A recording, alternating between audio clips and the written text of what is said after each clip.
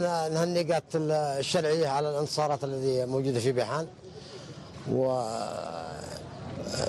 نطمن أهل بيحان بأن ال- ال- الأسعار سوف يعني سوف تتغير بما فيها أسعار الغاز والمشتقات النفطية وأن الغاز سوف يتم اليوم يعني تموين العليا بثلاث قواطر بسعر الرسمي 1750